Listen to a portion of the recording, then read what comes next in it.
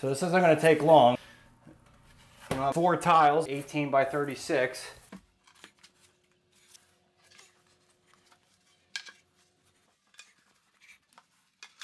Just gotta put thinset on all four corners. Really makes it nice and easy